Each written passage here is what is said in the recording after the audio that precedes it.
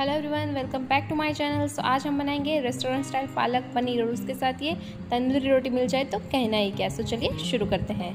तो यहाँ पे मैंने लिया है पालक, मेरे किचन गार्डन से मैंने यहाँ पे इसको तोड़ा और यहाँ पे हम इसको बनाएँगे। तो ये और ज़्यादा टेस्टी बनेगा, क्योंकि फ्रेश होता है तो उसकी बात ही अलग होती है। तो हमें करना कुछ नहीं है, सिर्फ़ बॉइलिंग वाटर में हमें इसको डालना है और within eight to ten seconds हमें इसको हॉट वाटर में से निकाल देना है, हमें ज़्यादा नहीं रखना है। तो अभी हम इसको निकाल देंगे आठ से दस सेकंड के लिए हमें इसको रखना है। इसको ब्लांच करना कहते हैं। बॉईल करना नहीं, हम इसको ब्लांच कर रहे हैं। आठ से दस सेकंड के बाद हम इसको ठंडे पानी में डाल देंगे ताकि इसकी कुकिंग प्रोसेस रुक जाए। जब तक ठंडा हो रहा है, तब तक हम तड़का लगाएँगे। तो यहाँ पे मैंने एक चम्मच बटर लिया है, उसमें चार से पाँच चम्मच ऑयल डाला है। आप चाहो तो घी भी यूज़ कर सकते हो। जैसे ही गर्म हो जाए, उसके बाद हम इसमें डालेंगे दो बड़े साइज़ के प्याज मैंने फाइनली चॉप कर दिया हमें पीसना नहीं, हम पीसेंगे तो ग्रेवी जैसा हो जाएगा। हमें टेक्स्चर वाली सब्ज़ी चाहिए।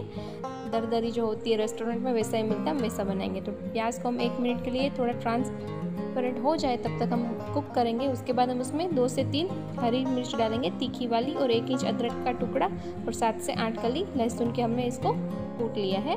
तो वो हम इसको डाल देंगे। अब हम इसको ढक के मीडियम फ्लेम पे हम इसको एक से डेढ़ मिनट तक होने देंगे, तब तक हम पालक पीस लेते हैं। तो यहाँ पे पालक अच्छे से ठंडी हो गई है तो अभी हम इसको दो बैचेस में पीस लेंगे, वरना कई बार हम एक साथ डाल देंगे तो वो सीधा उड़ के हमारे मुँह पे लग जाएगा तो इसका ध्यान रखना तो अभी हम इसको देख सकते हो, मैंने कैसा पीसा है, इसे थोड़ा हमें दर दरा रखना है। हमें दो तीन सेकंड के लिए पीसना है, बंद करना है, ऐसा करना एक साथ हमें नहीं पीसना है तो इस तरह से आपको ऐसा टेक्सचर मिल जाएगा। तो यहाँ पे मैंने दोनों बैचेस में करके रेडी कर लिया है।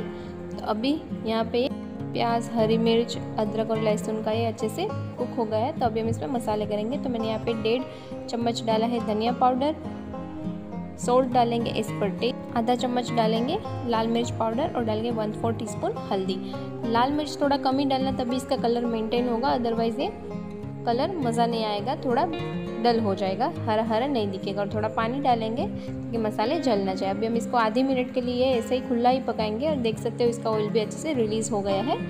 अभी हम इसमें, हमने जो पालक पीस के रेडी किया था वो डाल देंगे। अब हम इसको अच्छे से मिक्स कर देंगे मसाले के साथ और अब हम इसको ढक देंगे और दो से तीन मिनट तक लो फ्लेम पर हमें इसको कुक करना है। तब तक मैंने यहाँ पे घर की फ्रेश मलाई ली है, दो चम्मच। हम इसको फेंट लेंगे, आप जो पैकेट आता है रेडीमेड हम उसको वो भी ले सकते हैं, अमूल का आता है, वो और यहाँ पे पनीर भी हम इसको काट लेंगे। यहाँ पे मैंने डेढ़ सौ ग्राम पनीर लिया है, आप अपने हिसाब से कम ज़्यादा कर सकते हो। तो मैंने यहाँ पे इसको पीसेस में काट लिया है और ऐसे दो से तीन पीसेस को मैंने ऐसे ग्रेट कर लिया है ताकि अच्छा टेक्सचर आ जाए सब्ज़ी में।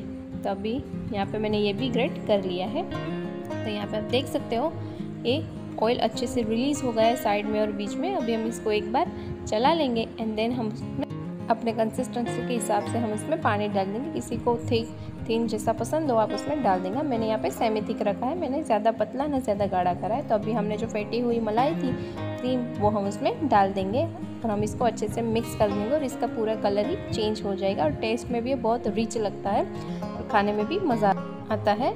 तो अभी हम इसको खुला ही छोड़ के हमें इसको पकाना है, ढकना नहीं है। तो अभी हमने यहाँ पे जो पनीर काट के रखा था वो और ग्रेट किया हुआ दोनों डाल देंगे और डाल देंगे हाफ़ टी स्पून गर्म मसाला अच्छे से मिक्स करके फ्लेम ऑफ़ कर देंगे। ज़्यादा पकाएँगे तो पनीर चूहे हो जाएगा। तो फ्लेम ऑफ़ करने के बाद हमने इसमें डाला है नींबू का जूस, वो ऑप्शनल है, आप चाहो तो मत डालना।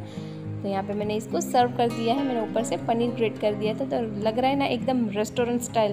तो उसके साथ मैंने यहाँ पे तंदूरी रोटी भी बनाई है कम्प्लीटली गेहूँ की है, मैदा की नहीं है।